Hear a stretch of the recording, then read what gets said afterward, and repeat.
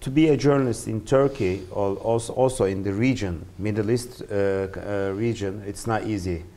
Uh, but it was, it, it's not easy uh, just for today. It, was, uh, it wasn't easy yesterday. Hardest thing is, the, you know, the freedom of speech affects the journalists.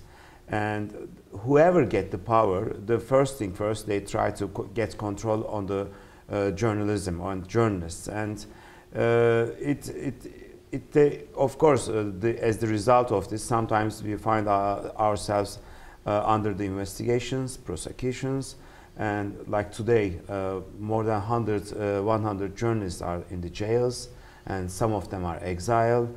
so lots of different challenges than the stable countries to be a journalist in Turkey.